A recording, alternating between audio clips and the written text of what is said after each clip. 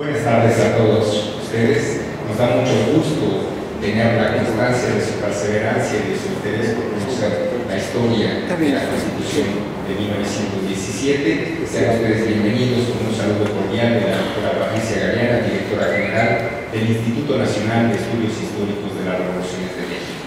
En esta ocasión tenemos como conferencista a la doctora Patricia Cursain Villalobos. Voy a hacer lectura de su semblanza curricular.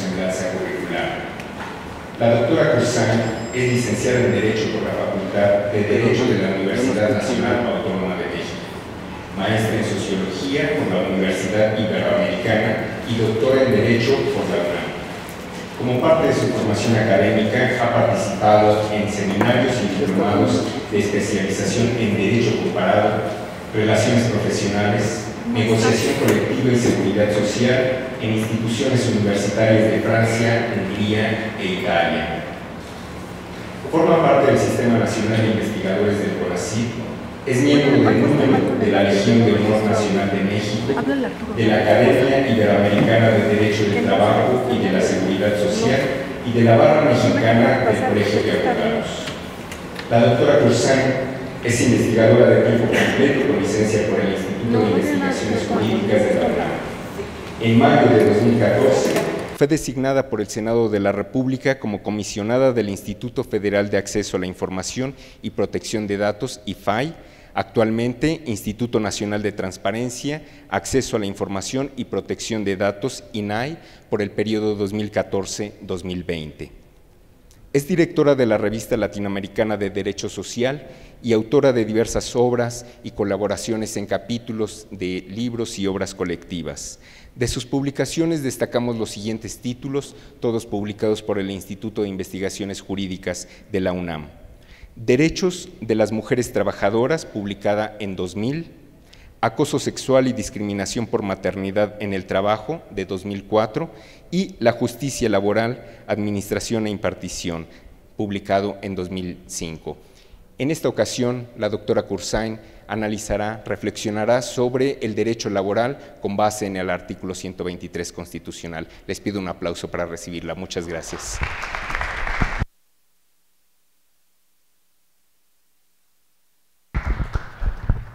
muchas gracias. Buenas tardes. Buenas tardes y muchas gracias por el aplauso. Siempre es agradable tener un recibimiento así tan cordial.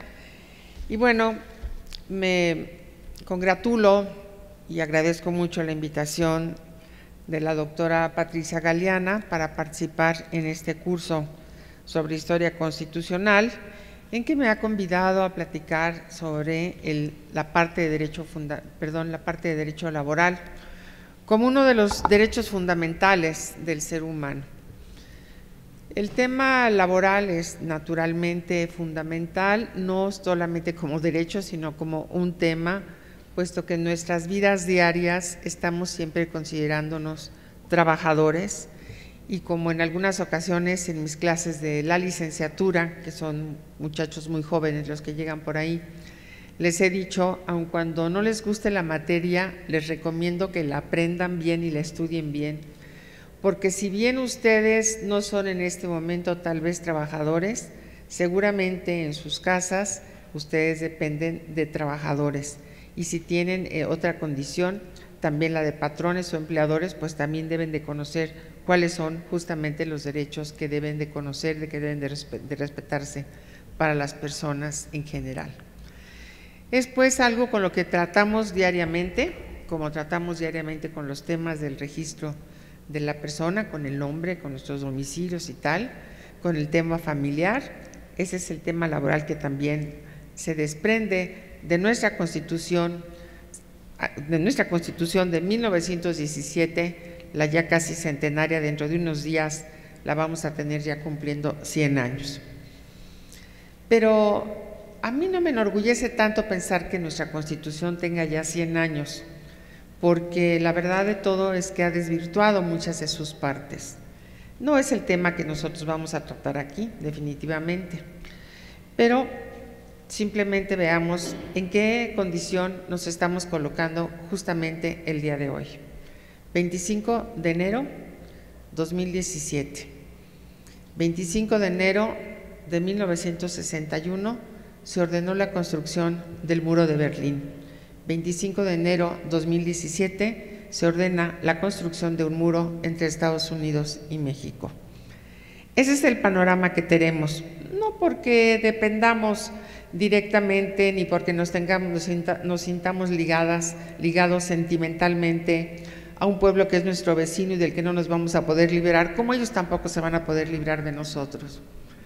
Y al respecto recuerdo mucho también una carta que Víctor Hugo, el poeta francés, el novelista, el filósofo Víctor Hugo, le escribió a los, le escribió a los mexicanos con motivo de la intervención francesa. Y que por cierto, esa carta que él escribió a los mexicanos se encuentra una reproducción en, bronce y está colocada en el patio de la Casa de la Cultura de Puebla, esa Casa de la Cultura que es en donde está también la Biblioteca Palafoxiana. Si tienen ustedes oportunidad algún día de visitar esta Casa de la Cultura, seguramente no se pueden perder la Biblioteca Palafoxiana y ahí justo en un muro eh, que está antes de subir por la escalera a la biblioteca, aparece ahí una cara, una, máscara con el perfil de Víctor Hugo y la reproducción de la carta en la que más o menos, no me la sé de memoria, pero más o menos dice así, mexicanos, recuerden que no son los franceses los que les hacen la guerra, era a propósito de la intervención francesa, es el gobierno francés. Y yo creo que de igual manera debemos de pensar nosotros. El pueblo norteamericano pues no está realmente peleado con los mexicanos. Es el gobierno de Estados Unidos y en particular el que acaba de empezar hace apenas unos días. Este es el panorama que nos presenta ahora nuestra constitución a los 100 años. Una constitución que surge después de una revolución en la que trataba de haber justicia en muchos sentidos y buscar la justicia social. Y naturalmente nuestra justicia en ese sentido iba por muchas, por muchas aristas, iba por muchos caminos, iba con, con muchos destinos. Pero se tuvo dos temas, como ustedes lo saben, fundamentales que representaron los pilares sociales con los que se distinguió nuestra Constitución, como la primera, la primera social, que aparecía en el mundo entero. Y bueno, fueron precisamente los derechos sobre la propiedad de la tierra y los derechos laborales, ambos formando entonces lo que se llamaba o lo que se conoció como derechos sociales, lo que dio margen a que nosotros consideráramos ahí el nacimiento de una tercera rama del derecho, que es el derecho social. Esta tercera rama de derecho social que se distinguía porque no era derecho público, porque no era derecho privado, no era derecho público porque no era una obligación en la que interviniera el Estado, no era derecho privado porque las relaciones entre los particulares justamente se tenía que modificar, pero esta distinción fue, se adelantó inclusive, se adelantó inclusive a la Constitución alemana de Weimar, que se promulgó en el año de 1919, que, tenía, que contenía un apartado sobre los llamados seguros sociales. Aquí quiero recordarles a ustedes la distinción que se hace. Una cosa es seguridad social y la otra son los seguros sociales. Bismarck, que era el canciller de aquella época en la República de Weimar, en Alemania, él consideró que había un gran descontento entre la sociedad y de una manera perspicaz e inteligente inició una reforma con los seguros sociales para contener el descontento de la sociedad o por lo menos parte del descontento. Causó una gran sensación, pero la Constitución mexicana de 1917 se había adelantado. Igualmente debo decirles que en, este mismo año de 1919 se constituyó la Organización Internacional de Trabajo, que ya venía funcionando, que ya venía organizándose a través de una conferencia internacional, no era una novedad en ese instante, pero que finalmente para constituirse como una organización internacional de trabajo se requirieron, varios pasos. Y esos varios pasos culminaron en el año de 1919 con la redacción de una constitución de la propia Organización Internacional de Trabajo y con la cual se unió a la Sociedad de las Naciones Unidas. Esta Organización Internacional de Trabajo, nuevamente novedosa, 1919, fue dos años después, se constituye dos años después de la Constitución mexicana. ¿Y por qué era la Organización Internacional de Trabajo novedosa en la Sociedad de las Naciones Unidas? Bueno, porque había terminado la guerra, naturalmente, se empezaban a formar muchos organismos, pero, pero, ninguno como el de la OIT, que sigue como hasta la fecha, eh, como el único organismo internacional que se integra de manera tripartita. Es decir, los representantes de esta organización son, por un lado, representantes de los trabajadores, por el otro lado, representantes yo voy a hablar de empleadores y no de patrones. Y por último, los representantes de los gobiernos. Tiene una importancia fundamental porque la OIT, si bien es cierto que no es una autoridad que sancione y no es una autoridad que persiga y no es un tribunal internacional tampoco, se ha distinguido por ser una institución que impulsa, que empuja, que produce, que tiene efectos que van a dar en los países para beneficiar los derechos de los trabajadores, tanto en la parte económica como en la parte social, tanto en la parte sustantiva de trabajo como en la parte de seguridad social.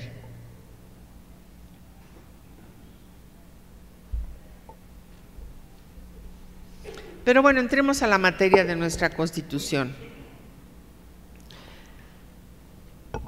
Ustedes recordarán que cuando se hablaba o cuando los, diputados constituyentes del 17 estuvieron hablando sobre lo que eran las garantías individuales y hablaban de la garantía del trabajo, que estaba en el, en el artículo cuarto constitucional, fueron trabajando sobre estos temas y se armaron unas extraordinarias discusiones y alegatos en las cuales, sin llegar a ponerse de acuerdo totalmente, decidieron dejar para el final, pues casi para el final, la redacción de lo que serían los derechos de los trabajadores. Por lo tanto, en el artículo cuarto consagraron solamente la libertad de trabajo. Es una garantía que cada persona pueda tener, decía individuo entonces, pueda tener derecho a trabajar, tenga derecho a elegir su trabajo y tenga derecho al producto de su trabajo. La Constitución se fue reformando, como hemos dicho, de tantas maneras y de tantas formas, que eh, posteriormente eh, se modifica y en el artículo cuarto se establecen en ese entonces tan solo la igualdad del hombre y de la mujer, pero antes de esto otros derechos que llevan a un cambio en la nomenclatura. Y el derecho al trabajo pasa a, a formar parte del artículo quinto, o pasa a ser, mejor dicho, el artículo quinto el artículo quinto constitucional. Esto que se conocía como si fuera el derecho individual de trabajo, el derecho de la persona a trabajar, el derecho a seleccionar su trabajo, el derecho a, obtener el resultado de su trabajo, el producto de su trabajo, se convierte después en una disposición en la que se habla inclusive de la posibilidad de que el Estado reglamente qué actividades y qué profesiones son las que requieren un permiso, y llamémosle ahora un título profesional para poder ejercer la, la actividad. Como nosotros conocemos, los médicos, los abogados, los profesionistas, tenemos que tener una cédula profesional que naturalmente avale que tenemos los estudios suficientes para poder tomar en nuestras manos ciertas responsabilidades eh, respecto de los, de los abogados, pues evidentemente para podernos presentar ante los tribunales, defender el honor, la justicia, lo que se refiera en cuanto a los derechos en general, así como a los médicos para que tengan la capacidad de, poderse, de poder atender la salud de las personas. Pero el resultado de estas discusiones tan interesantes que existen es que se llega al artículo 123 porque había que hablar sobre otros derechos y no nada más el derecho a trabajar, sino bueno, si el derecho al producto del salario, pues sí, el producto al salario, pues es un, el producto al, el, producto, el resultado del trabajo es el salario, pero el salario, ¿cómo se va a pagar? ¿Quién lo tiene que pagar? Eh, ¿Cuánto tiempo va a trabajar? ¿La jornada de cuánto es y demás? Y venía entonces toda aquella inquietud que había despertado el ánimo de los revolucionarios con aquellos manifiestos del Partido Liberal, con aquellas consignas de los hermanos Flores Magón, y había que ver exactamente en qué consistían estos derechos. Bueno, y de esa manera llegamos al artículo 123 constitucional al que yo me quiero referir ahora. Vamos a hacer unas referencias al texto legal y vamos a hacer alguna, eh, alguna consideración respecto de las reformas que ha tenido. Es muy interesante hacer una comparación del texto original con el texto actual, porque ahí encontramos la evolución de, una, de toda una rama que se llama derecho del trabajo y que si ustedes quieren también podríamos hablar hasta de una rama que no solamente es derecho del trabajo, sino de lo que se llamaría también derecho burocrático, que hay quienes lo consignan o lo encasillan en el derecho administrativo. Son dos derechos diferentes, pero que tienen el mismo fundamento, con lo cual yo nunca he estado de acuerdo en que al derecho burocrático se le considere parte del derecho administrativo. ¿Por qué? Porque Originalmente el artículo 123 que se llamó del trabajo y que se llama del trabajo y de la previsión social, pues es un solo artículo, es una sola disposición que está dividida en muchas fracciones.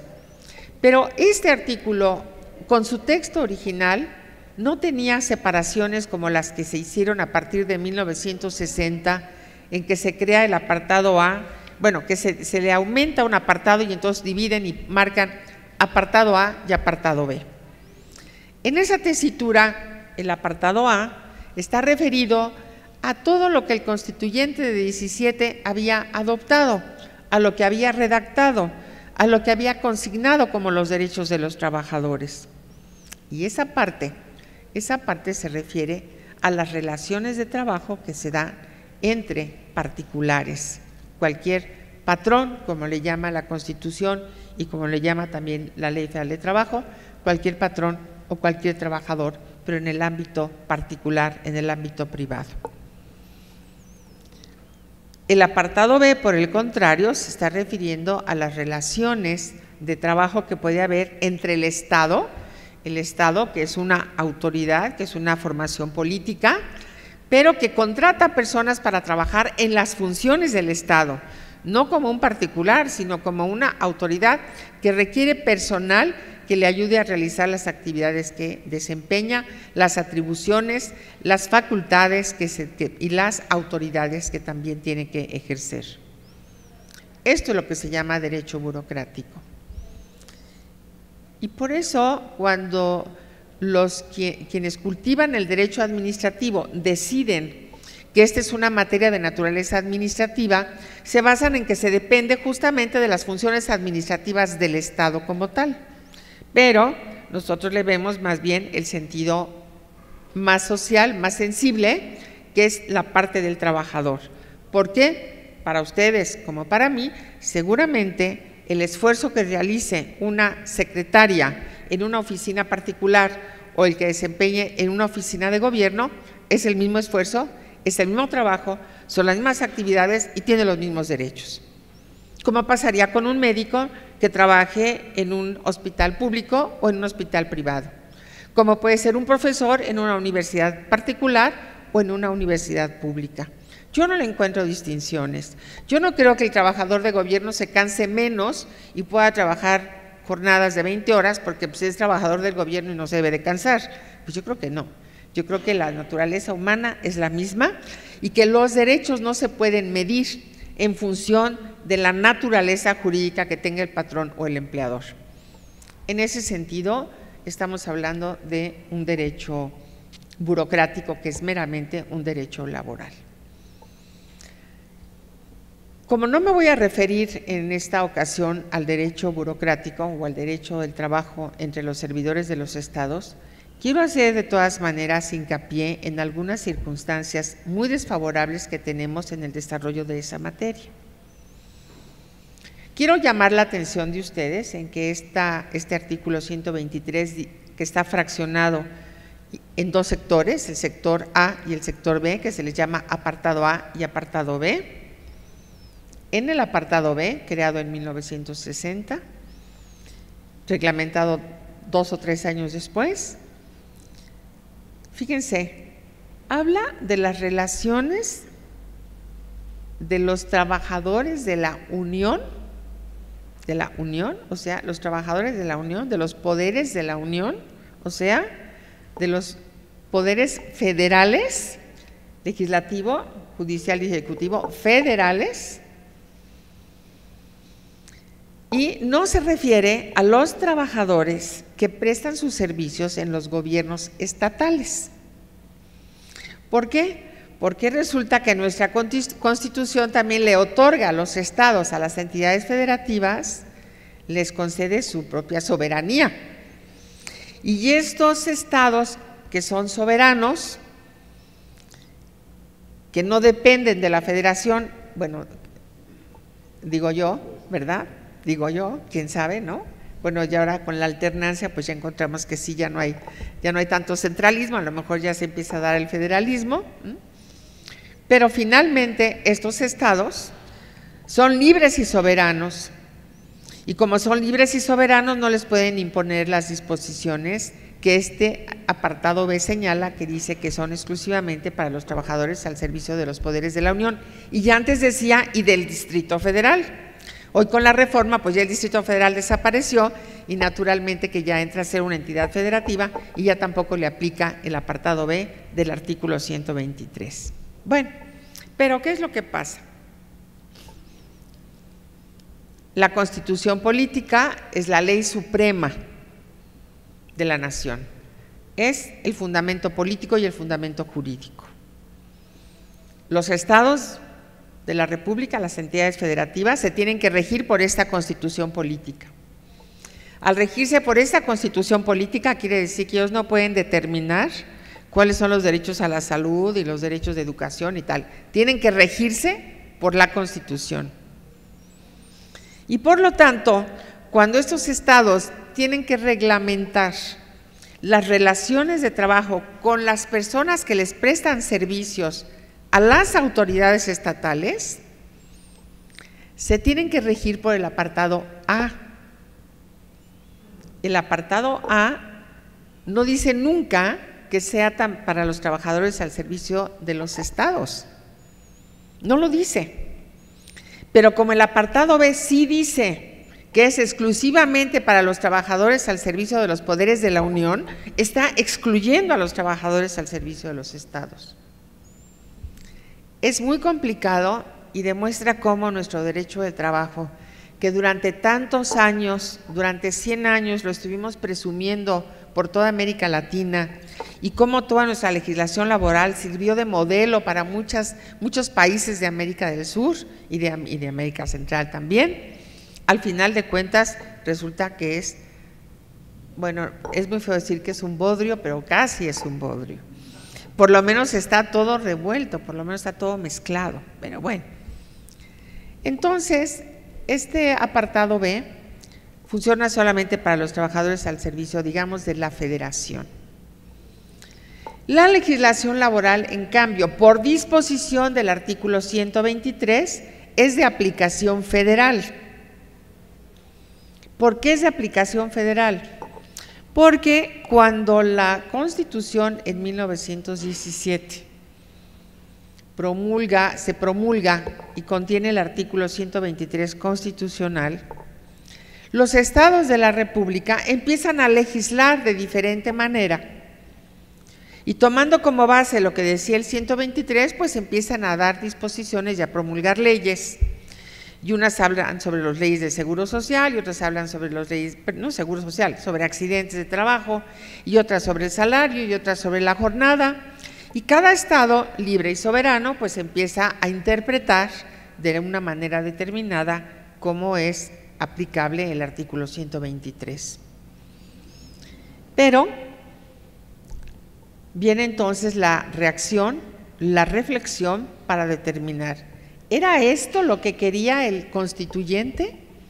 ¿Era que quería que cada estado de la República les diera diferentes derechos, aun cuando marcara unos mínimos?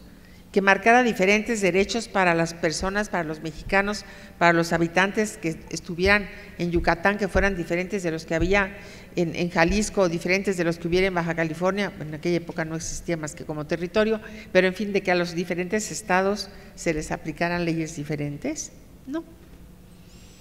Por ese motivo, en el año de 1929 hubo otra reforma por la cual el presidente Ortiz Rubio determinó o envió la iniciativa para que el constituyente también determinara que debía de haber una ley federal de trabajo. Y con esa ley federal de trabajo se establecía un piso similar, o sea, condiciones iguales en todo el territorio mexicano sin que pudiera haber ninguna distinción. Y por eso surge la primera ley federal de trabajo de 1931. Y aquí, señoras y señores, es cuando decimos, nace un derecho social con la Constitución de 1917. Nace un derecho del trabajo como tal en el año de 1931, cuando se crea la ley, cuando se promulga la Ley Federal de Trabajo, que es el antecedente de la ley que nos rige actualmente, que fue promulgada en el año de 1970. Esta ley de 1931 determina pues que no puede haber en un estado una jornada de siete horas, pero en otro estado jornada de ocho o en otro estado jornada de nueve horas. Marca las condiciones mínimas sobre las cuales se debe de trabajar. De esta manera se va conformando este derecho del trabajo y al mismo tiempo, basado en la fracción 29 del artículo 123, hay un incipiente derecho de seguridad social que nace al calor de la relación laboral. El texto original de la fracción 29, que se refiere a seguridad social, hablaba del seguro popular, de seguros populares. Ahora hablamos de un seguro popular que es completamente diferente, que tiene otra idea y demás. Y en esta fracción 29 surge o se inicia un derecho de seguridad social que después, hasta el año de 1943, cuando se emite la ley del Seguro Social, la primera ley del Seguro Social, y se crea el Instituto Mexicano del Seguro Social, en otro hora maravilloso Instituto Mexicano del Seguro Social, se da origen a un nuevo derecho de seguridad social que no solamente es para algunos, sino para todos aquellos que tengan una relación de trabajo, una relación subordinada de trabajo. Por eso es tan importante el artículo 123. Ahora, ¿qué es lo que nos da nuestro artículo 123? Que toda persona tiene derecho al trabajo digno y socialmente útil y que por lo tanto deben de crearse empleos y debe de haber una organización social conforme al trabajo. Les recuerdo a ustedes también que el artículo 25 de la Constitución, aun cuando ya también ha sido muchas veces reformada, lo que habla es de una distribución de la riqueza, habla de la necesidad de que se creen estructuras de desarrollo en la que se fomente la economía, y por ahí también tendríamos que considerar lo que dice ese artículo para entender también que el Estado tiene la obligación de dar y de proporcionar las estructuras necesarias de carácter económico, las estructuras necesarias de carácter social y político para que se generen fuentes de empleo. Es decir, el Estado no tiene por qué ser el único patrón de todos los mexicanos, desde luego que no, no somos un Estado totalitario, sino que tiene que ser como organización política el que pueda administrar las riquezas, los recursos y podamos tener en ese momento una condición favorable para que cada mexicano pueda tener satisfecho su derecho al trabajo o también a lo que ahora debemos de entender como derecho al empleo. Que hay su diferencia, pero no vamos a entrar a esos tecnicismos, no vamos a entrar a esas condiciones prácticas. El Congreso de la Unión, sin contravenir las bases siguientes, deberá expedir leyes sobre el trabajo. Y luego dice, las cuales tienen que regir en, y ya venían ahí los datos. Este texto original del 123 lleva 45 reformas desde su promulgación. Las últimas modificaciones ocurrieron en las fracciones 3, sexta y 31 del apartado A, que fueron en 2014 y en 2016. Y en las fracciones 4 y 13 del apartado B, en el año también de 2016, entre lo que se incluye ya el cambio del Distrito Federal como entidad federativa. La reforma a la parte declarativa de este artículo, es decir, la parte principal del artículo, que se refiere a derecho de toda persona al trabajo digno socialmente que acabo de mencionar, consagra el fundamento del carácter social del trabajo. El trabajo es un derecho humano fundamental con alcances específicos que van más allá del individualismo. No podemos trabajar, no podemos pensar en que somos individuos aislados. Somos personas que viven en una sociedad, que formamos una comunidad y que naturalmente con las diferentes organizaciones políticas llegamos hasta constituir una república. Acorde con la dignidad del ser humano, el trabajo al que acceda una persona debe tener una repercusión benéfica para la sociedad misma. El trabajo, por lo tanto, debe rendir frutos que se manifiesten primero como la remuneración que recibe cada persona, como la utilidad que se genera para cada persona y para su familia, a la vez que sea aprovechable para la comunidad. De ahí que no podamos pensar en que hay posibilidades de regular un trabajo que sea con actividades ilícitas. Una persona contratada por el crimen organizado, por ejemplo, por alguna organización delincuencial, no podemos pensar de ninguna manera que sea un trabajo que tenga un prospecto social y por lo tanto no podemos considerar que sea lícito. Bien, el derecho a tener un trabajo socialmente útil representa la inserción del ser humano en la colectividad con actividades que le permiten dignificar la condición humana. Y cuando hablamos de dignificar la condición humana, pues ya sabemos que la dignidad es un valor subjetivo, que es inherente a la persona, que tiene un valor intrínseco, etcétera. Y que suena a veces un poco romántico, que ah, ¿qué es esto de la dignidad? ¿Y qué es esto de que el trabajo es digno? Y que eh, dice filosóficamente se dice que una persona se dignifica cuando trabaja, cuando sabemos que muchas veces, en otro sentido la palabra digno, hay trabajos que no tienen nada de dignidad, hay trabajos lícitos, pero que las condiciones en que se desempeña no podemos de ninguna manera pensar que sean dignos para el ser humano.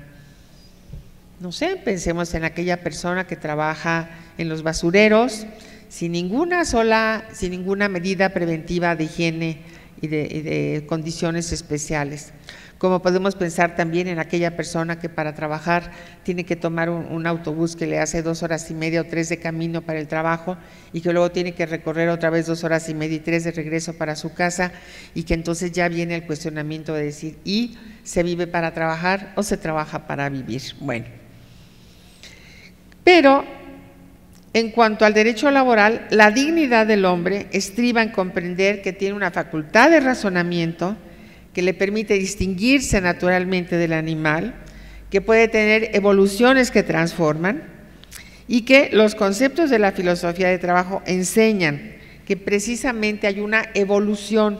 Ahora, cuando yo digo que hay una evolución, pues todos ustedes podrían preguntarse si todas las evoluciones son buenas y ya sabemos que en todos los casos no podemos que no podemos generalizar. Pero el trabajo dignifica al hombre sí, naturalmente que sí. El trabajo como tal, como la esencia de un derecho que tenemos, sí nos dignifica. ¿Por qué? Porque aplicamos nuestra inteligencia, porque aplicamos nuestra razón, porque sabemos razonar, porque sabemos producir, porque creamos, porque evolucionamos, porque damos servicios, porque generamos bienes, porque por muchas razones, porque vivimos en una organización. Y eso nos distingue naturalmente con las grandes organizaciones animales, como son las de las abejas, las termitas y demás, que trabajan maravillosamente bien en comunidad, pero que han trabajado igual durante siglos y siglos y siglos y que no va a haber, claro, hay a veces mutaciones, ya sabemos que luego llegan a tener algunas mutaciones, pero al final de cuentas, pues las abejas tradicionalmente siguen chupando las sustancias de las flores de las plantas y siguen generando la miel y su organización sigue siendo igual, con una reina y con sus panales y con sus nodrizas y con sus todo todo el esquema que es tan interesante además de estas monjas. Y que, por cierto, permítanme que les cuente una anécdota de algo que seguramente ya habrán recibido ustedes también en el teléfono con esta maravillosa comunicación que tenemos ahora. Pero dicen que unas de las palabras que pronunció el señor Trump en su toma de posesión están tomadas de una película de unas abejitas que se proyectó en el año 2007. Y ahí viene cómo está exactamente lo que dijo Trump y luego lo que dijo, eh, lo que dice el autor de la película de las abejitas, son exactamente las mismas, mismas palabras. Y pues como yo creo que no tienen gente que les pueda dar elementos políticos de categoría, pues deben de contratar gente también que dice, bueno, pues nos fusilamos por ahí cualquier cosa y ya la podemos decir. Bueno, esa es una anécdota nada más. Si el trabajo dignifica al ser humano, es decir, al hombre, quiere decir que el trabajo es útil y que como tal dignifica a la sociedad misma. Ahora, podemos entender esta dignidad como el equivalente al respeto y el cumplimiento a los derechos humanos. Es un principio axiológico que equivale al respeto de los derechos que incluye, por supuesto, los derechos de los trabajadores. Ahora, la igualdad es premisa de los derechos humanos por lo tanto, debe protegerse por la ley. Y así como la norma suprema prohíbe la discriminación por cualquier causa o motivo aplicada en el ámbito del trabajo, implica que no puede hacerse distinción alguna si no es con una razón plenamente justificada. Por lo anterior, la igualdad debe de considerarse un presupuesto del derecho del trabajo, sea este desempeñado de manera subordinada o independiente, y sea por lo tanto un patrón de naturaleza jurídica pública o privada. A propósito de esto, de la dignidad, justamente la Organización Internacional de Trabajo ha creado desde hace varios años y lo ha impulsado un programa especial que llama Trabajo Decente.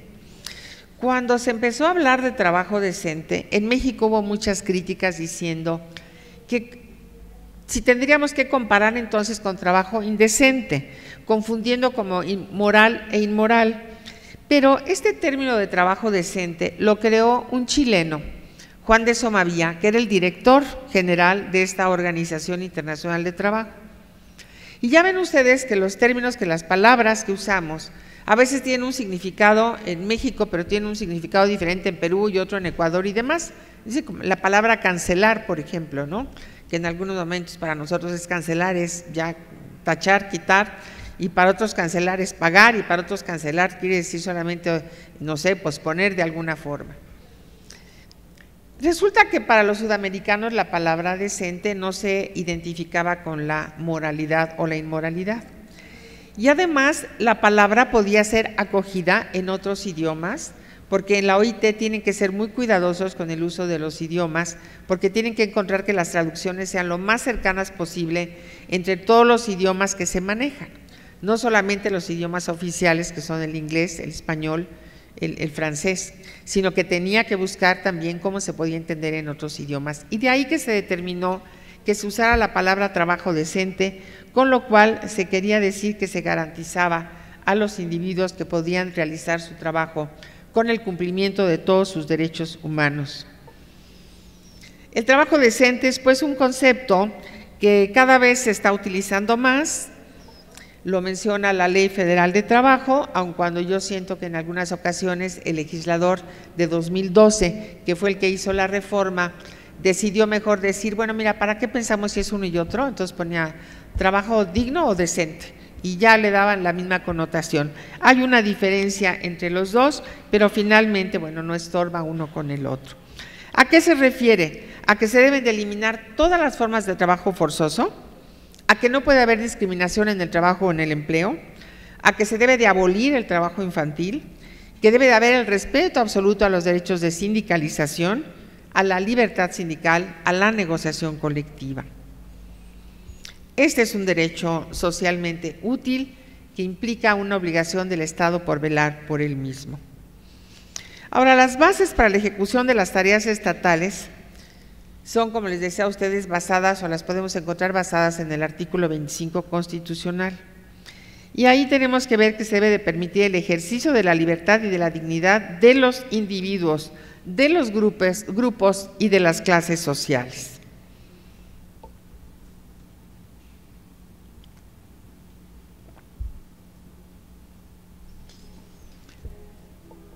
Bueno, después, ¿qué dice el enunciado del artículo 123?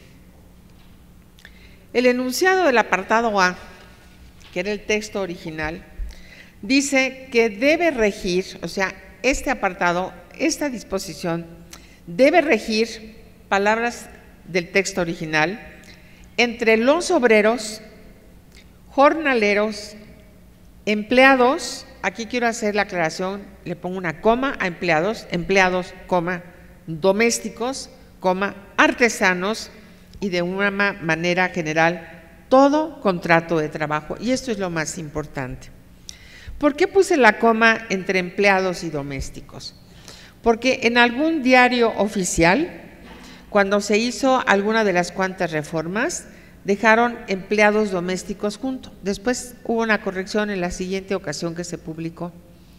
Pero no se refería entonces a trabajadores domésticos, a empleados domésticos como los entendemos el día de hoy.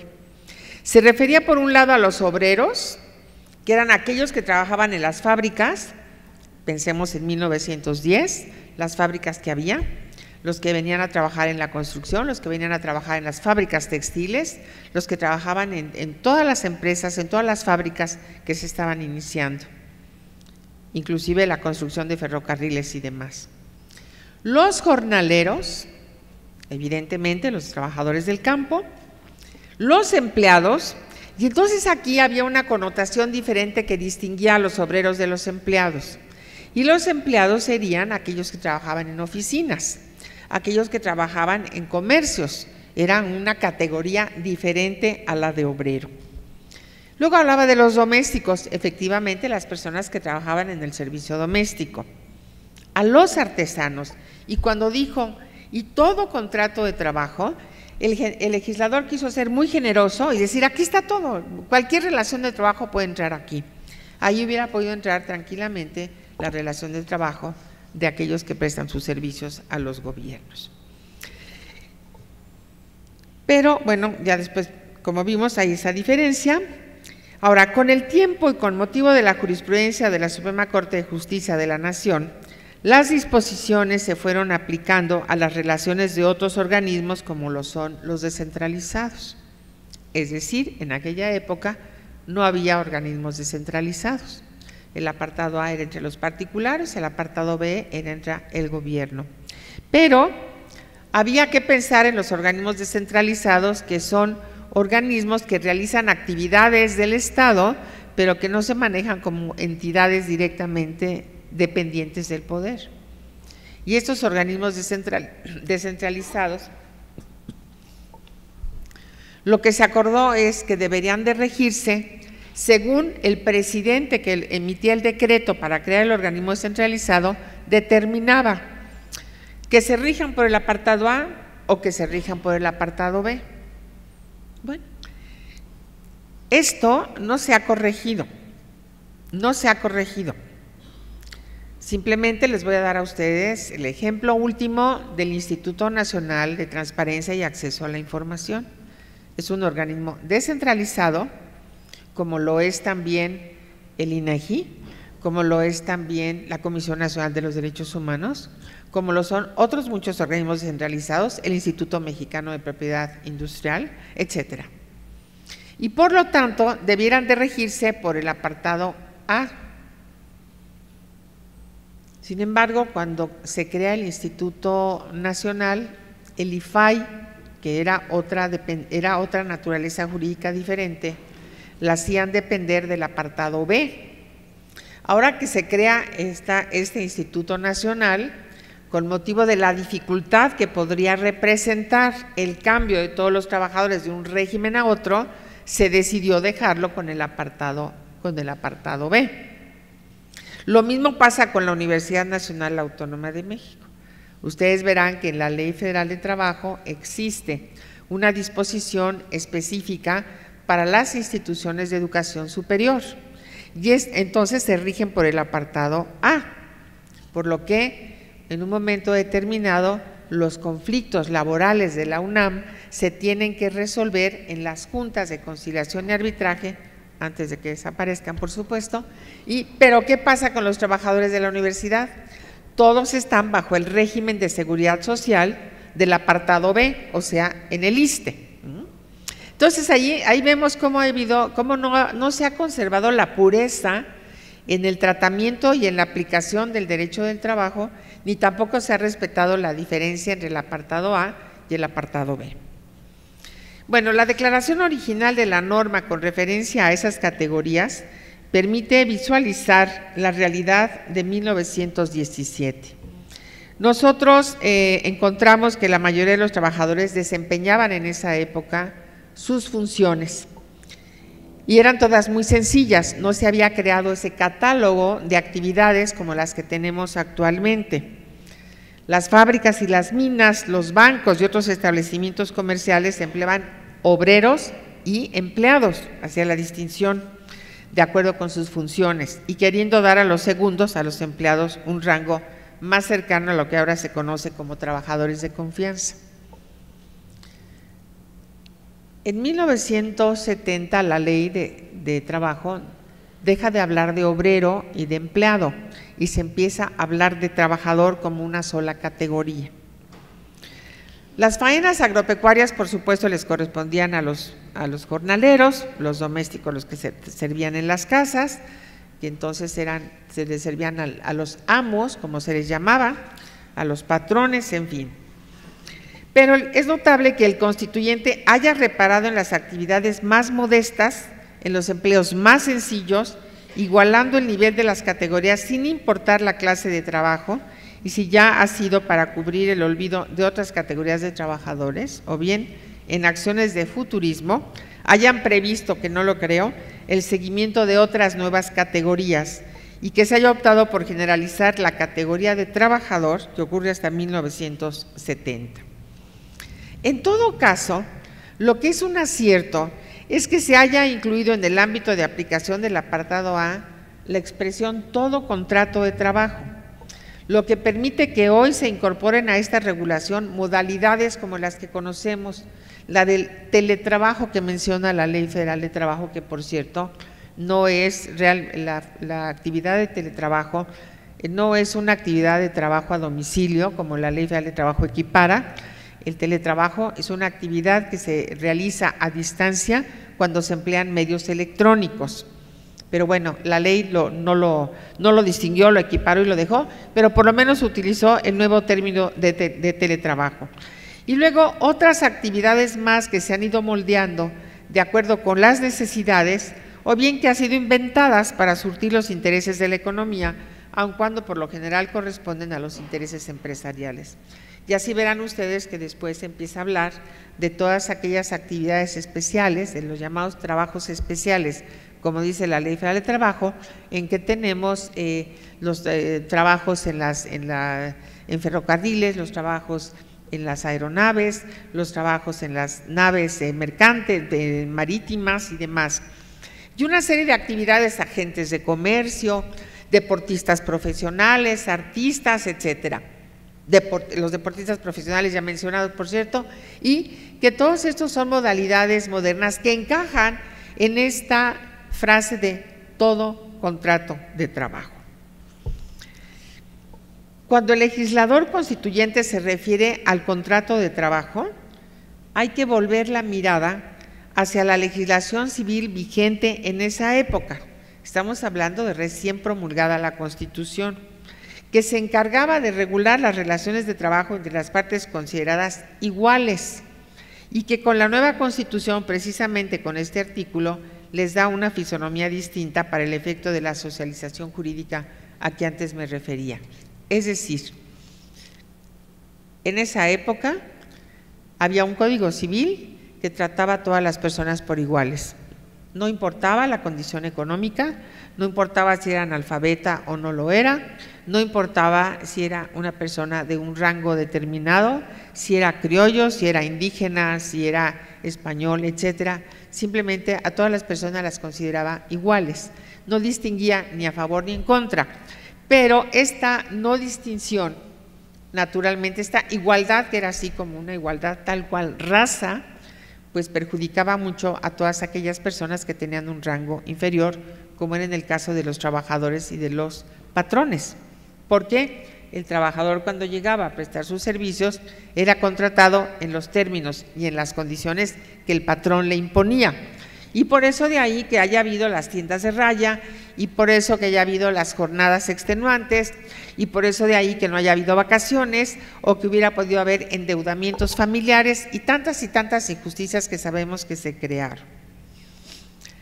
El constituyente no elaboró ninguna teoría sobre un nuevo contrato de trabajo, no advirtió los modos de origen ni el significado de una nueva figura jurídica que estaba creando, solamente se fijó en tutelar y en buscar la realización de lo que llamamos la justicia social.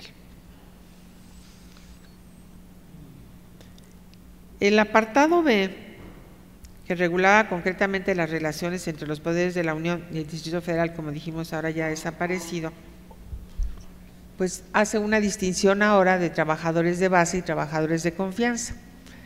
Y la Ley Federal de Trabajo no distingue de ninguno de no distingue entre ellos pero nosotros sentimos que cuando habla de trabajadores de confianza, a los que les da solamente determinadas categorías que no vienen en la Constitución, sino en la ley, está haciendo esa distinción como si hubiera habido trabajadores obreros y trabajadores empleados con una categoría diferente.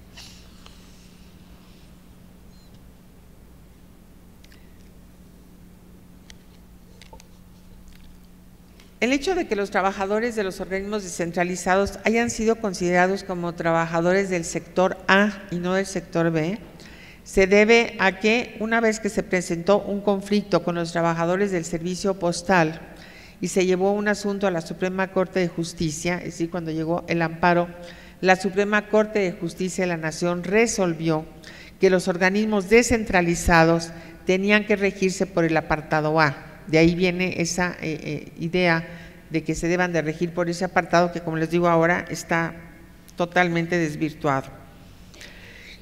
Los trabajadores del apartado A pues se rigen por la ley del Seguro Social, esta ley que nació primero en 1943 y que después se ha ido modificando, que tiene una segunda ley de 1973 y después una tercera ley de 1995, la cual tuvo reformas en el año de 2002 de una manera muy importante. Y recordar solamente que con fundamento en la fracción 90, novena del artículo 115 de la Constitución Política, los estados tienen facultades para reglamentar las relaciones de los trabajadores a su servicio y que tienen que hacerlo con base en el artículo 123, apartado A. No pueden hacerlo sobre el apartado B. Pero también vale la pena señalar que en el apartado B tenemos que distinguir que hay una excepción, porque todos los trabajadores al servicio del Estado se rigen por ese apartado, menos, menos los militares, los marinos, el personal del servicio exterior, agentes del Ministerio Público, los peritos y los miembros de las instituciones policiales, que se deberán de regir por sus propias leyes. Quiere decir que hay condiciones distintas. Tenemos una excepción dentro del apartado, dentro del apartado B. Ahora, las condiciones advertidas en los últimos años del siglo pasado y en estos últimos lustros, del cual se han llevado a consideraciones fatalistas, diría yo, la función del derecho del trabajo, el esquema tradicional del trabajo subordinado se ha modificado con formas variadas, es decir, se ha flexibilizado Y esto ha llegado a crear submodalidades. Y si antes se entendía que un trabajador era trabajador porque estaba subordinado a un patrón, pues ahora resulta, que se han inventado tantas formas extrañas para liberarse de responsabilidad patronal que se ha creado otro término que no aparece en la Constitución, que tampoco aparece en la ley, pero que en la práctica se da y que se llama parasubordinación. Es decir, no hay una subordinación como tal, pero en los hechos sí se da. Aquella persona que en un momento determinado se convierte en un agente de comercio porque le dan material a vender, esa persona firma por el valor de la mercancía que le dan a vender, esa persona sale a venderla, pero no puede vender los productos de otra marca o de otra línea. Tiene la exclusividad con una persona. Depende, por lo tanto, de esa persona. Y ese, esa persona no la consideran un trabajador, la consideran pues un agente. Y de, de esa manera se liberan de cumplir con algunas responsabilidades, como sería el pago del salario mínimo, como sería la jornada de trabajo y sobre todo muy importante, la no inscripción en el seguro social. Eso pasa, por ejemplo, en muchas otras, eh, en muchos otros comercios, por ejemplo, peluquerías, estéticas y demás, en que el personal tiene que llevar su propio equipo de trabajo. Llevan sus barnices, llevan sus secadoras de pelo, llevan sus navajas para afeitar, sus glostoras o como se llamen ahora las cosas que se ponen, etcétera. ¿Y qué es lo que pasa? No es trabajador, son comisionistas, les pagan por comisión.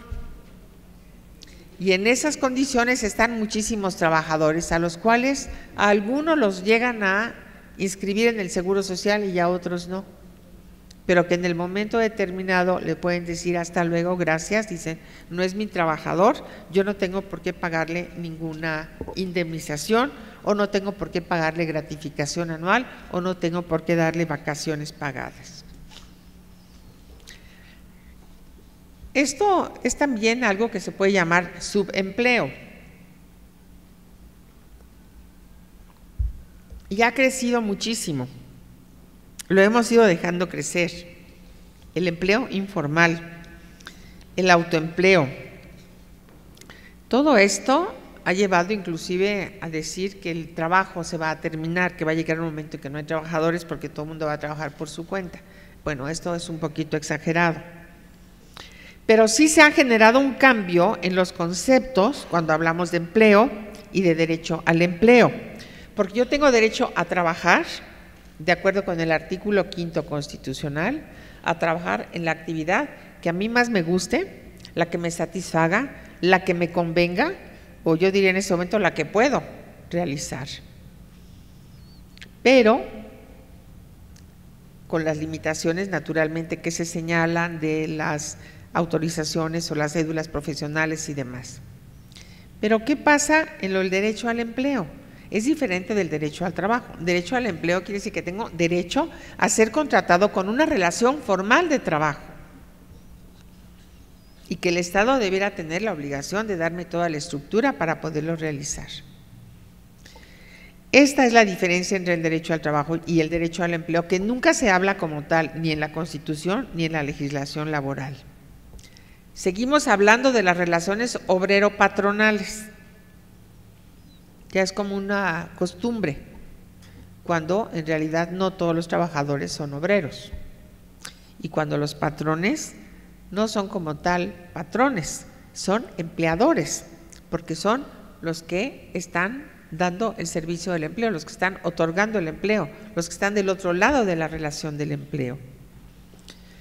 Nuestra, nuestra legislación, pues no es una legislación ahora que podamos considerar magnífica, es una legislación que adolece de, muchos, de muchos errores, es una legislación que en su terminología misma en el 2012 que se pudo haber eh, modernizado no lo hicieron, se sigue hablando entonces de patrón, en todo el mundo se habla de empleador, patrón decíamos que es pues finalmente el patrón con el que se marca un vestido, patrones en aquella época, el patroncito, ¿verdad? El amo, patrones, el santo patrono del pueblo.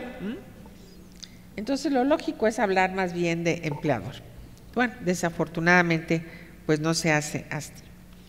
También muchas veces en vez de hablar de las relaciones obrero-patronales, se habla de las relaciones industriales. En algún momento, a principios de siglo, hubo un francés que desarrolló el tema del derecho del trabajo, se llamaba Paul Pic. Y Paul Pic hablaba, cuando se refería al derecho del trabajo, hablaba de la legislación industrial. Pero esto, cuando se empiezan a desarrollar las teorías del derecho del trabajo, se advierte que no puede ser la nominación adecuada, porque no estamos hablando nada más de leyes y no son nada más leyes que se apliquen en la industria, sino es al trabajo del ser humano, al trabajo de esta persona que en un principio era un individuo y que se hablaba de las garantías individuales.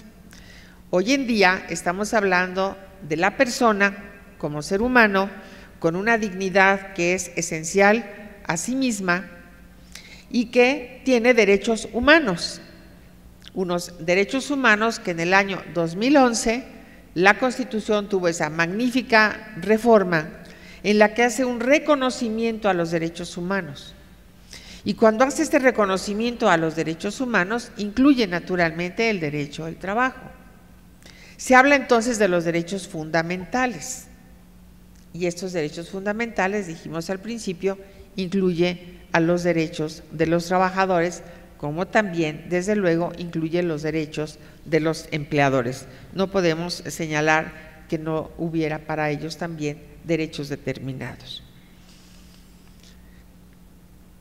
En algún momento podríamos haber hablado de la sociedad industrial, toda la sociedad hecha una industria. Pero hoy tendríamos que hablar de la sociedad digital, o tendríamos que hablar de la sociedad de la informática. Y la verdad es que seguramente vendrán más evoluciones y cada vez tendremos que pensar más en la protección de la persona como tal, como trabajador en cualquier área y en cualquier circunstancia. Y eso es lo que nos debe de interesar y es en lo que en algún momento la Constitución podría o debiera de tener la distinción para poder acoger los, todos los principios de, de los derechos de los trabajadores. ¿Qué pasa con la sociedad moderna? ¿Qué pasa con nuestra sociedad de informática? ¿Qué pasa con nuestra sociedad digitalizada? Es una sociedad novedosa que avanza día con día, que las leyes se van quedando atrás y no alcanzan a, llegar a regularlo de la forma más adecuada, pero que las condiciones nos han llevado ahora a vivir una nueva cuestión social una nueva cuestión social en la que se confrontan los intereses, una cuestión social en la que vemos capitales enormes que tienen la mayor parte de la riqueza mexicana concentrada en un 10% de la población a lo mejor, no, no doy cifras exactas porque no las conozco, y que el resto está dividido en clases sociales que cada vez se acumula más o se van más todas hacia la pobreza, más que pensar en que van subiendo hacia los niveles más altos en la economía. Todo esto no lo podemos perder de vista. Todo esto lo debemos de tener muy conscientes para la aplicación, para la regulación de las relaciones de trabajo. México no está ajeno a la transformación del mundo del trabajo. No nos podemos quedar al margen de las reformas laborales. Pero no podemos tampoco, por lo menos hasta el día de hoy, desobedecer y no queremos desobedecer el mandato del artículo 123. No podemos distorsionar los conceptos del derecho social que nos da un espíritu especial. No podemos olvidarnos de los derechos humanos, de los derechos humanos en el ámbito laboral. No podemos conformarnos todavía con que tengamos el apartado A y el apartado B. Todavía hay, yo todavía albergo la esperanza de que un día se acabe el apartado B. Pero bueno, hoy en día ese apartado A habla de la persona, de los derechos humanos que consagran el artículo primero constitucional y que por lo tanto son también extendidos hacia el ámbito laboral, no solamente en la dignidad de la persona como tal, sino en la dignidad de una persona en su condición de trabajador.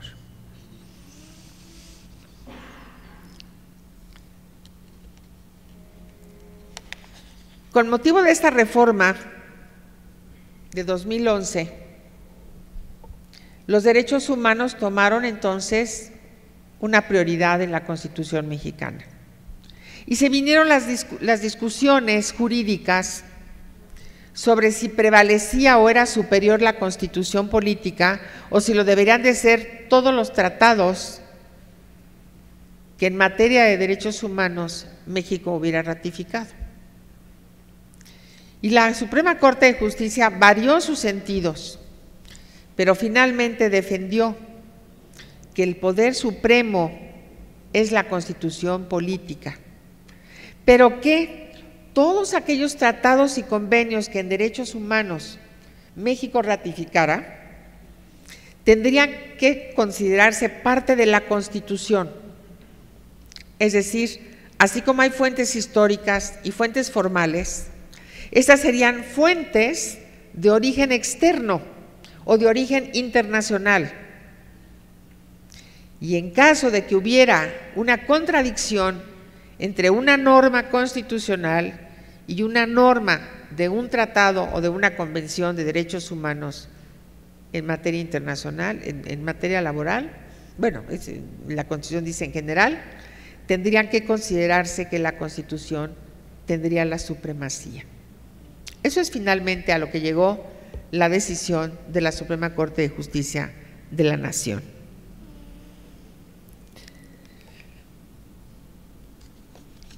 De esta manera tendríamos que pensar que la Constitución tiene normas de trabajo en el artículo quinto, tiene normas en el artículo 123 y tiene todas las normas que están en aquellos tratados internacionales de derechos humanos como puede ser el Pacto de Derechos Económicos, Sociales y Económicos, y como pueden ser, que es un, convenio general, como pueden ser los convenios específicos de la propia Organización Internacional de Trabajo, que, son ocho los convenios, son muchísimos convenios, son como 200 convenios, pero los que son fundamentales, los que se refieren a derechos humanos, son ocho.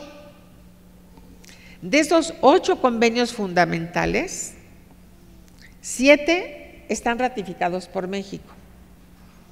Son aplicables, por lo tanto, aquellos convenios que prohíben el trabajo forzoso. Son aplicables los convenios que prohíben el trabajo infantil, el trabajo de los niños, o que prohíben las peores formas de trabajo infantil, es decir, permiten el trabajo y por eso se reformó la Constitución recientemente para señalar la edad mínima de trabajar en 15 años. Entonces, los niños a partir de 15 años deben, pueden tener permiso para trabajar, pero entre los 15 y los 18 años están prohibidos para realizar actividades peligrosas o insalubres. Ese es otro convenio de las peores formas de trabajo infantil. Son también convenios específicos el que habla de la igualdad de remuneración entre la mano de obra femenina y la mano de obra masculina. Que a esas alturas de este siglo XXI todavía sigue habiendo diferencias en el pago del trabajo a las mujeres cuando realizan actividades similares a la de los hombres. Y no nada más en México, es en todo el mundo, lamentablemente. Hay también el convenio que señala que no puede haber discriminación en el trabajo, ni por la edad, ni por el sexo, ni por la condición de capacidad física o mental, que no puede haber una discriminación por raza, por etnia, por ideología política, por religión. Esto se consagra también en el artículo primero constitucional pero de cualquier manera la OIT tiene este otro convenio que en México ha ratificado. Y finalmente, los dos convenios que se refieren a libertad sindical, uno de ellos es el que no tenemos ratificado. Uno es el convenio 87, que se refiere a la libertad sindical, es decir, el que puedo formar un sindicato, puedo dejar de formar parte de un sindicato, puedo crear un sindicato, y el otro que se refiere al derecho también de sindicación y al derecho de la negociación colectiva. Ese que es el convenio número 97, no lo tenemos, 98, perdón, no lo tenemos ratificado. Pero los otros siete sí. Quiere decir que estos siete y todos los tratados de derechos humanos, todos, en los que se refieren al derecho al trabajo, el derecho al empleo, la libertad de trabajo, la libertad de sindicalización, el derecho a la remuneración, etcétera, etcétera, son obligatorios. Pero compaginan todas las disposiciones con las normas constitucionales. Si acaso lo que tendríamos que pensar es que en el momento que estamos hablando de estos derechos sociales y económicos, porque los derechos laborales tienen un contenido social y tienen un contenido económico, lo que tendríamos que pensar es que en el lenguaje de los derechos humanos se les considera derechos prestacionales. ¿Por qué? Porque a diferencia de los derechos civiles, de los derechos políticos, en que el Estado solamente pone las condiciones jurídicas para que se puedan realizar, en los derechos que se llaman prestacionales, como los económicos y sociales, se está refiriendo a que el Estado tiene que prestar las condiciones para que se puedan realizar. Y si no las puede garantizar, el Estado tiene que buscar la forma de solventar el tema. Por ejemplo, el derecho al trabajo. Es un derecho social con un contenido social y económico. Y por supuesto, si tú no tienes trabajo, yo, Estado, debiera tener un seguro de desempleo,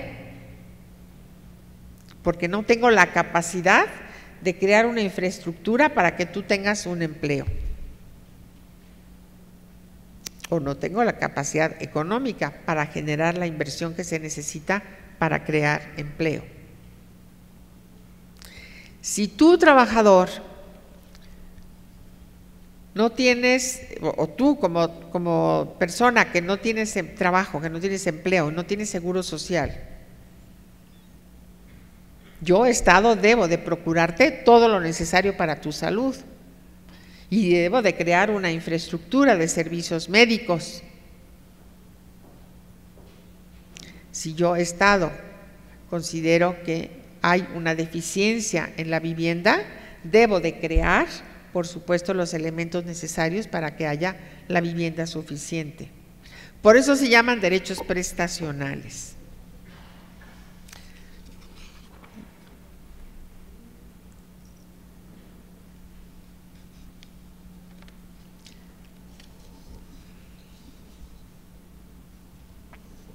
Yo no sé si a ustedes les interesara que nos refiriéramos a algunas de las de las fracciones, si las pudieran ver, o seguimos en esta, en esta misma condición ya para terminar en un momentito. ¿Les parece?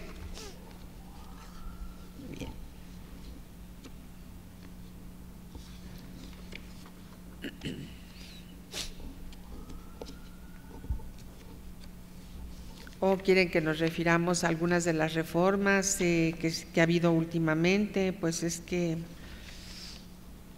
yo, para serles franca, no sabía en qué contexto era la plática que íbamos a tener el día de hoy.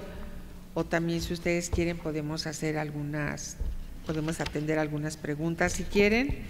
O podemos platicar también de esta disposición, por ejemplo, de la prohibición es una de las reformas constitucionales que se tiene de la fracción tercera, que fue reformado el 17 de junio de 2014, porque antes nuestra constitución hablaba que los menores de 14 años no podían trabajar y ahora esa disposición subió a 15 años para que México estuviera en condiciones de poder ratificar el convenio 138 de la OIT, con lo cual ya los menores hasta 15 años no pueden trabajar.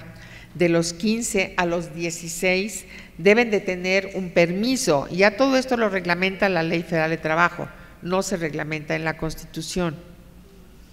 Y después, hasta los 18 años, tienen restricciones de trabajos que pueden ser peligrosos o insalubres, por ejemplo, el trabajo en las minas, el trabajo en las canteras, el trabajo, eh, inclusive el trabajo en el extranjero, no se les permite a los menores salir a trabajar al extranjero.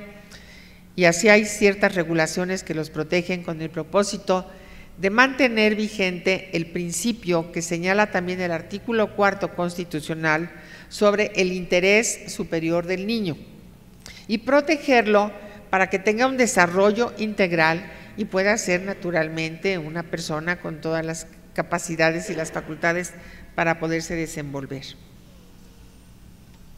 La reforma entonces permitió esta ratificación de los menores de 15 años que pudieran, que pudieran trabajar. Se regula en la, como decía en la Ley Federal de Trabajo, todos los permisos. Luego también podríamos hablar de cómo la fracción quinta, que se refiere a las mujeres durante el embarazo, las reformas que fueron teniendo para que hasta el año de 1974 hubiera otra reforma con la finalidad de salvaguardar los derechos de igualdad laboral y ampliar la protección para la trabajadora con motivo de la gestación, en virtud de que anteriormente la protección se limitaba a impedir el desempeño de trabajos físicos que requirieran esfuerzos. De estas reformas, naturalmente, vienen las reformas a la Ley Federal de Trabajo, que están mucho más detalladas en todos los sentidos. De las últimas reformas que ha habido, tenemos la reforma de la, fracción sexta, que fue también hecha el 27 de enero, es decir, a un año escasamente, en la que se dice que los trabajadores deberán disfrutar de salarios mínimos generales y profesionales y que antes se recuerdan ustedes que había tres áreas geográficas, ahora queda solamente una área geográfica. Pero lo más importante fue lo que se le llama la desindexación. El salario mínimo no podrá ser utilizado como índice, unidad, base, medida o referencia para fines ajenos a, su naturaleza. Esto quiere decir que el salario mínimo no puede ser tomado como la medida para la aplicación de las multas, por ejemplo, como ocurría antes. Bueno, y ahora hay que reformar una gran cantidad de leyes, por supuesto, porque todo eso pues no quedó, no quedó, queda en general, se tienen que ir reformando las leyes. La primera vez que se reformó esta, esta fracción sobre los salarios mínimos fue en 1962 en la que se establecieron salarios mínimos generales y entonces se hablaba de zonas económicas. Fíjense cómo cambia de zonas económicas a áreas geográficas, a tres áreas geográficas y después a dos, y luego quedamos en una área geográfica. Se crean las comisiones, que entonces había la Comisión Nacional y las comisiones locales para la fijación del salario mínimo. Todo eso se va reformando hasta que en 1986 los salarios mínimos se clasificaron en dos categorías, el salario mínimo general y los salarios mínimos profesionales, que por cierto, si ustedes ven la tabla de los salarios mínimos profesionales, no hay ninguna profesión, más bien se refiere a actividades especializadas. Otra reforma constitucional importante es aquella que se refiere a la, formación del Instituto Nacional para la Vivienda del Trabajador.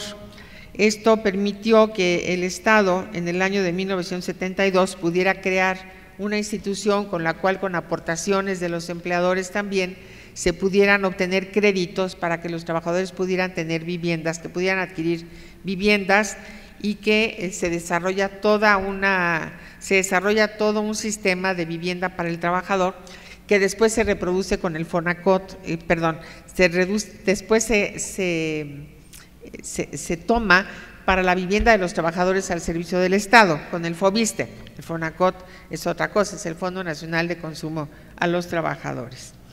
De esta manera estamos encontrando cómo se va reformando la Constitución Sin embargo, hay disposiciones que no han tenido tantas reformas. Y, por ejemplo, es la fracción 16 sobre sindicalismo, como tampoco se ha reformado el tema de la huelga.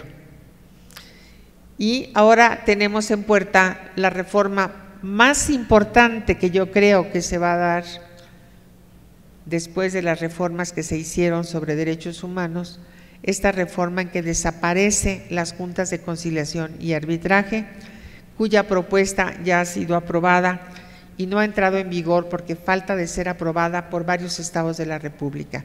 Es decir, hay legislaturas que todavía no la aprueban pero en el momento que lo aprueben, pues vamos a tener este cambio y no les quiero platicar la gran dificultad que se va a suscitar cuando todos los asuntos que están ahora eh, sustanciándose en las juntas de conciliación y arbitraje, tanto en la federal como en las juntas locales, en las juntas de los estados, no podrán pasar automáticamente a un juzgado, se tienen que terminar y mientras esas se terminen, pues se tiene que conservar todo el aparato de la Junta de Conciliación y Arbitraje.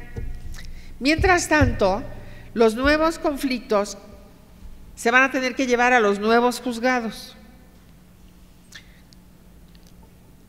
Dicen que el personal de las juntas de conciliación y arbitraje pasarán a formar parte del Poder Judicial en los tribunales de trabajo. No va a ser así. No va a ser así porque el Poder Judicial tiene sus propias reglas, con las que tiene sus propios eh, sistemas de selección, de capacitación, de escalafón, etcétera, y no va a poder ser así. Si acaso, creo yo, es que en algún momento los magistrados de las salas de los tribunales colegiados, que sí están especializados en materia laboral, pues seguramente podrán seguir siendo magistrados en segunda instancia ya no solamente conocerán de amparo, sino conocerán de los recursos, si es que va a haber recursos, porque también ese es otro tema. Actualmente los conflictos laborales se resuelven en una sola instancia. Y si las juntas de conciliación y arbitraje dictan un laudo que no satisface al trabajador, el trabajador se puede ir por otro juicio, que se llama el juicio de amparo, a los colegiados de circuito y más allá, pues a la Suprema Corte de Justicia. Ahora no sabemos cuáles van a ser las reformas. Tendrá que desarrollarse otro derecho procesal de trabajo. Vamos a ver qué es lo que pasa. Este es el panorama que nosotros tenemos de un artículo 123 constitucional que naturalmente se refiere a la parte tan importante como es la del trabajo de cada uno de nosotros que necesitamos el trabajo, pues naturalmente para vivir. Muchos trabajarán porque les gusta trabajar y que no tengan necesidad, y entonces felicidades a ellos, ¿verdad? Pero la mayoría de todos nosotros, pues trabajamos porque tenemos que, eh, tenemos que vivir, tenemos que pagar, tenemos que tener nuestros gastos y demás. Becados son muy pocos los que hay todavía y son por lo general estudiantes, bueno, salvo los pensionados y los jubilados naturalmente. Bueno, muchas gracias. No sé si hay algunas preguntas y las puedo contestar con mucho gusto.